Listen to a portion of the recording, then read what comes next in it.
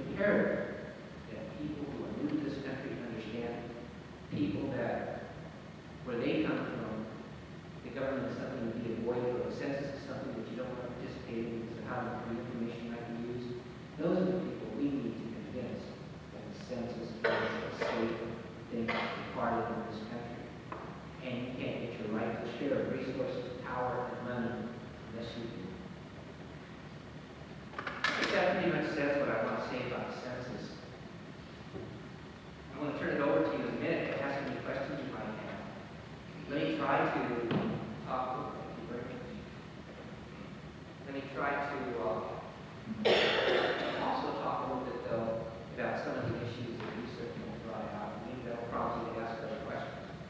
First of all, regarding the data, I think this will be the first census, I heard it before myself, that the information will be out much faster than ever before. And I think in every census, we pretty much do make an improvement. You know, the use of computers has helped out uh, tremendously in the past decades. But by the same token, this first time that we have fewer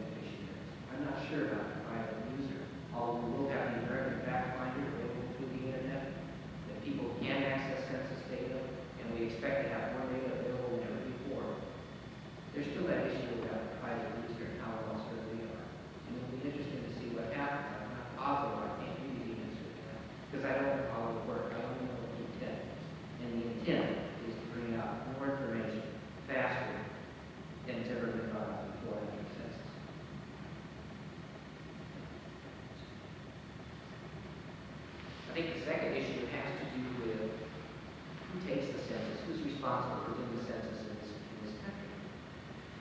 And, and I'll end up with this one because I think it's an important issue, but I'm not sure all understand it because it really it, it, it hits a number of areas. And that is that the census is really dependent on you. The census is all about you. It's not about the Census Bureau. The Census Bureau is responsible for ensuring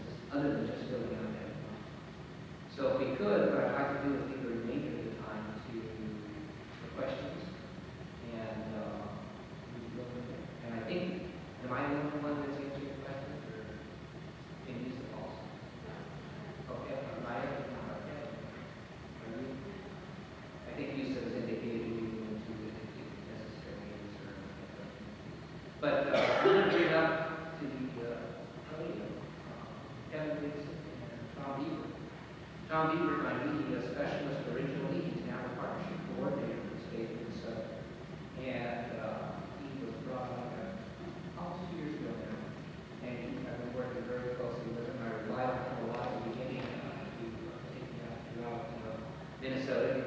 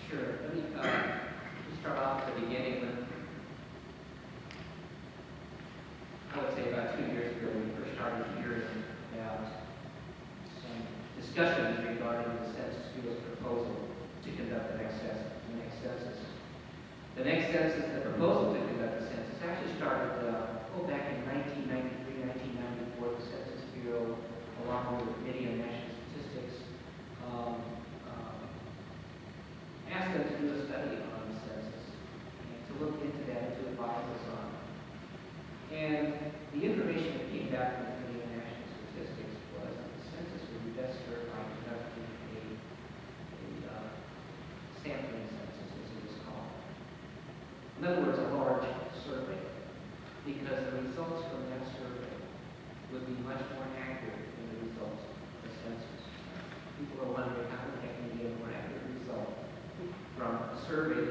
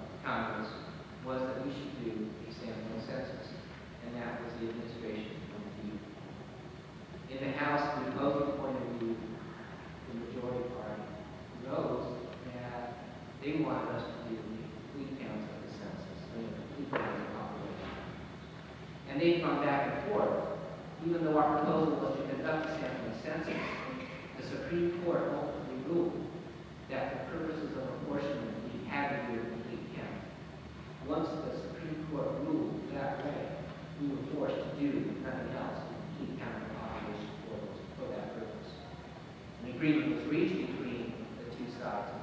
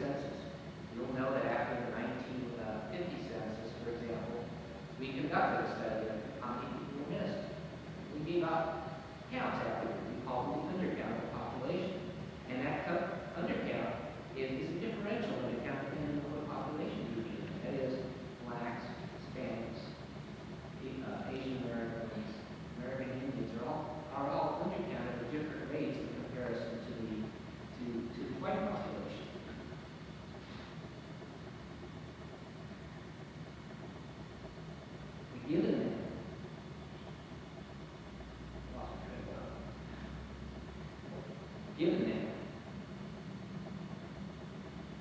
The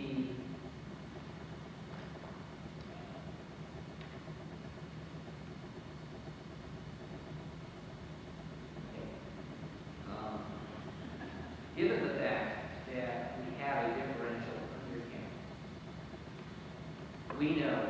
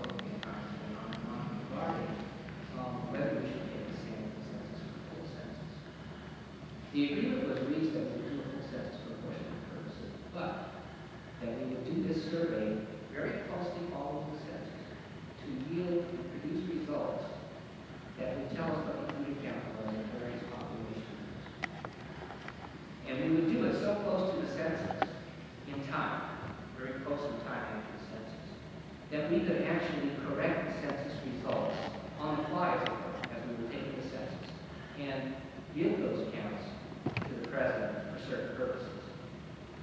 And the way it's come out is that on December 31st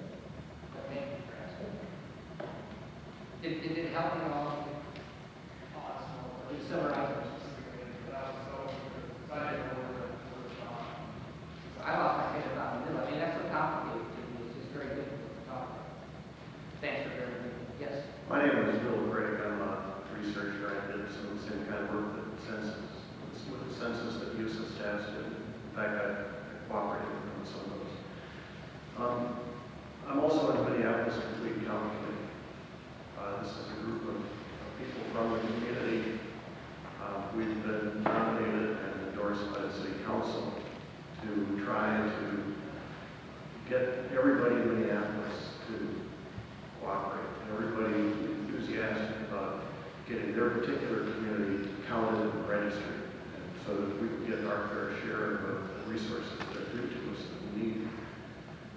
Um, I was appointed chair of that committee by Mayor Sayles Belton, and uh, it's a, it's a real serious responsibility for me and for everybody else community. We've got um, some resources to make this happen. We've got um, staff that's been supplied by the city council, sit on the city budget, and we've got uh, $50,000 from the Minneapolis Foundation to try to make sure we have t-shirts, and mugs, and all sorts of things out in the community so that we can spread the word of the census.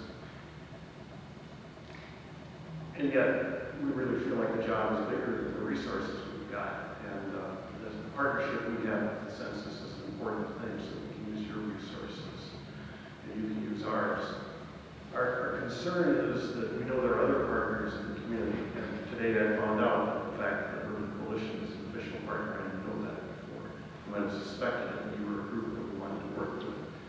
It's important, it would be important for us, if we're going to sort of maximize our work, to be able to cooperate with those other partners. So we need a list of the other partners in Minneapolis and the Twin Cities that overlay, that overlap with us, so we can do- begin coordinating our activities rather than just sort of trying to go in and work in some place where somebody else has already been, they've done a better job, and they start wondering, who's this second group in? So we need your help if we're going to uh, efficiently do our job. I think, I think that's a reasonable request. I know the Census Bureau is working on it. Um, It is something that in the past they have held that they did not want to give out, give out lists of partners. Uh, On the other hand, we do other things that are very close to doing the same thing. We will print out lists of, of Lee County, uh, for example, and so that everybody has knowledge about who's formed the Lee County Committee, so they can go to each other and rely on each other to do some things that they might not normally think of doing on their own. So I think it's a good thing to produce some of this information that can be made available for the communities to use uh, to help census. Personally, I don't have a problem with the list of the partners, and right now, I think that's the way we're moving. I'm not positive that's going to happen, but as I understand it, the Census Bureau has, is, is, is again considering that, and, um, I get my, my marching orders on uh, from, from headquarters, from Census Bureau headquarters. Is It's there- not a decision that I can make locally, but. Is there somebody that we can contact, uh, give us some advice, because we can apply some political pressure and I think some, uh, maybe some legal pressure to pull things up? I think if you just write to the Census Bureau, it's got a director. and you- you- you- you- And rural director of bureau? Yes, can't do it. But, um, more importantly, I mean, I, I don't know how partners feel, I've never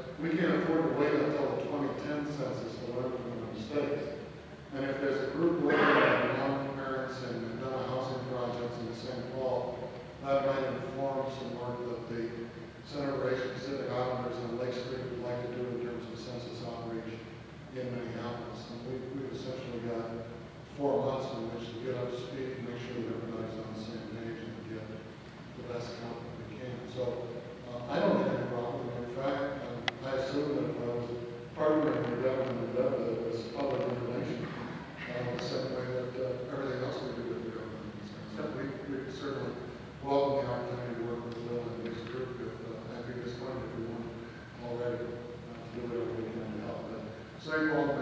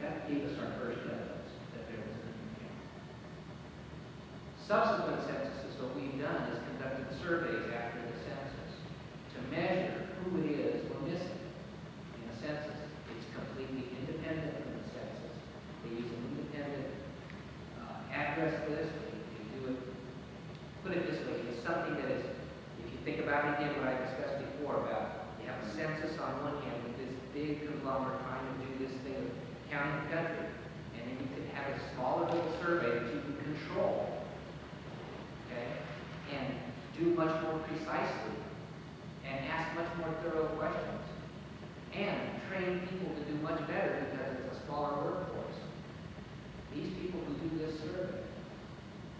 Get you the information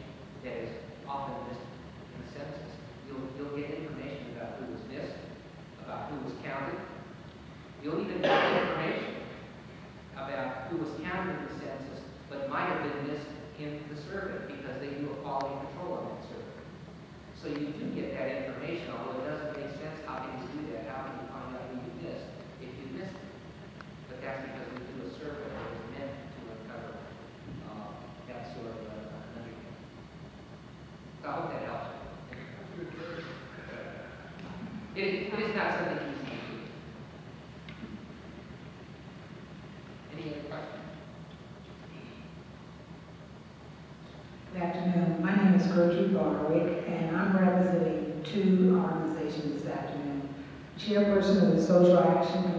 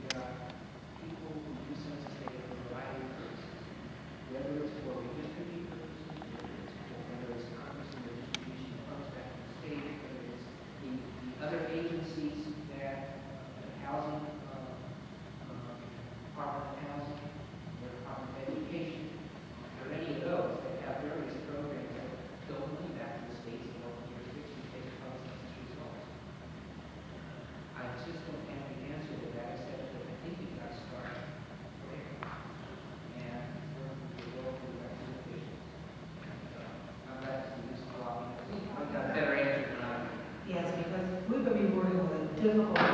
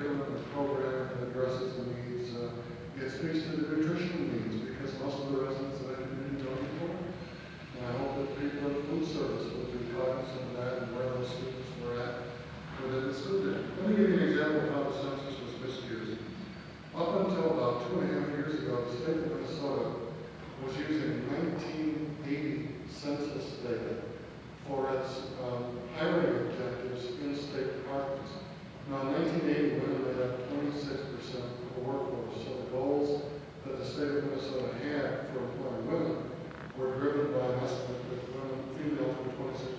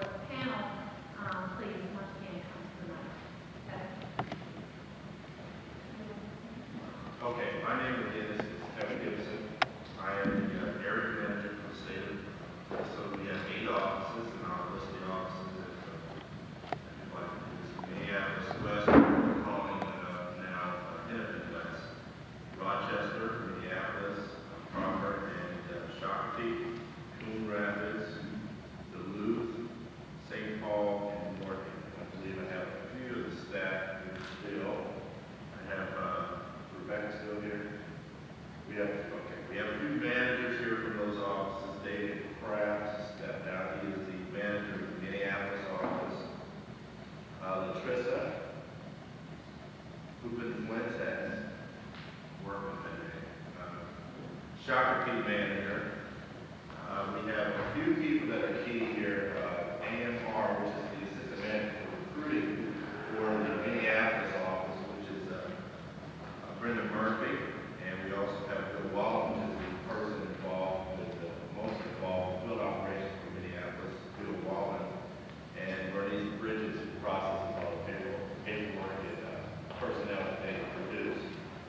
Uh, We also have from St. Paul side, Patricia Waller, which is the manager over here, and Harvey Yukin is the assistant manager for recruiting for that office.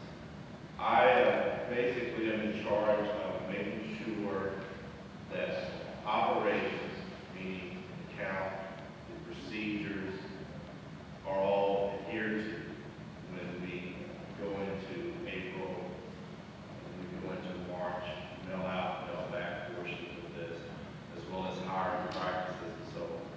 I'm the person in charge of that, so. Any questions? That's about it. Uh, My name is Tom Beaver, and I've uh, held a couple of roles here in the census. Bureau one was uh, uh, media area, the other is now the partnership coordinator. We have several of our partnership staff here in Minnesota with us. I'd like to introduce Marguerite Despain, is over here this side there. She's staff. Sue Hendry, second in the back.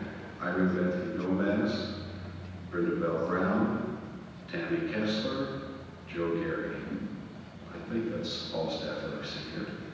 Um, our, our job as partnership is we're the group that goes out and meets with a variety of community organizations, a variety of governmental organizations to talk about the census, to explain to the community how important the census is. And I tell you, we've heard today how important the census is to everybody in this community. But the one thing that, that I'd like to emphasize for everybody is that this is your responsibility fill out the form. It's my responsibility to fill out the form for my family. It's responsibility of Kevin's to fill out the form for his family. In return, this really is a community event. But the only thing different about this community event than any other community event we've all been involved in is that this one event takes place on one day in every community in the United States. And it's something that you do, that you have to participate. We don't come to your house to make you fill out that form. We don't have a policeman knocking on your door to make you fill out that form. This is something that you do for yourself and for your community. It'll take about 10 minutes to fill out these little short questionnaires that we've got, we've got the short form outside there. And in that 10 minutes, you do more for your community for 10 years than anything that you could possibly do. And I don't care how many community events you go to, how many boards you sit on, or how active you are involved in any of your groups, this 10 minutes can do more for your community than anything else that you can possibly do. We have an undercount. It's not the Census Bureau's undercount problem. It's our problems in our community because we didn't take this seriously and we didn't fill out that form for ourselves. Because we complain in our communities more than anybody else how bad things are in our community and how things aren't coming our way and how the government's not doing anything for us. Well, this is something that we can take charge of for ourselves, something that we can do to make sure that we get all those funds that are available coming from the federal or the government to make sure that it comes back in our communities. We want our fair share. I don't want to cut out any other community, but I want my community to have its fair share. And you know as well as I do, there are too many people that have fought for us, that have died for us, that have gone out of their way for us to make sure that we have this opportunity to do this. And if we don't do it, we show an enormous amount disrespect to everybody in our community. We can't tolerate that any longer. We can't tolerate a 2% undercount in the Asian community. We can't under, tolerate 12.2% undercount in the Indian community.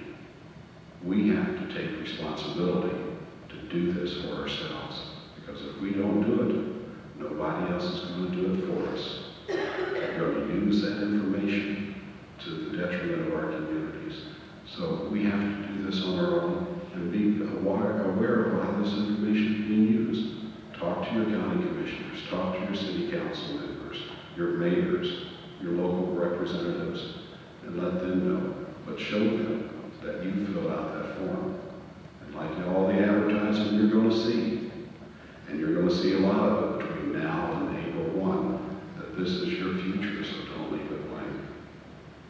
So please, fill that form out. I know it's 3 o'clock, I'm aware of the time, and I know everybody has to go. Uh, thank you, Augsburg, and, and thank you, USEP, for helping us out. Diane, it's all yours. Please. Introduce yourself, My name is Maya Partridge. I'm with the City of St. Paul in Mayor Coleman's Office. Um, I have a question for Tom, and this is just regarding the wondering, Tom, if the locations have been determined yet, um, how many sites will have the funding behind the staffing behind the centers? We're in the process now of asking our partnership specialists to give us a list of the questionnaire assistance centers, and we're in the process of putting those lists together. Uh, just for planning purposes, uh, for the Census Bureau, we've told Washington that we'd like to have about 700 questionnaire assistance centers city of Minnesota. So we're looking for those areas.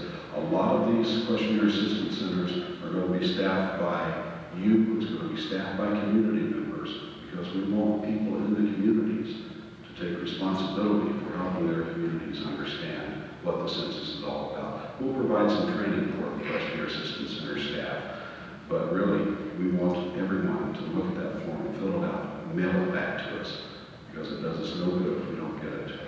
And uh, we are looking in areas uh, where there might be barriers to filling out that form. Language may be a barrier. We want to go into those communities that probably does not have English as their first language. We want to make sure that folks there understand the questions if you fill that form out. We're looking at areas where literacy might be a problem, whether it's uh, in English or whether it's another language. We want to make sure that everybody that's here on April 1st of 2000 gets counted. And that means everybody. It means you, your grandmother, and most of all your children. Somehow, a lot of people forget to put down their children on the census form. If you do nothing else, tell everybody their children on the census form because we need that information.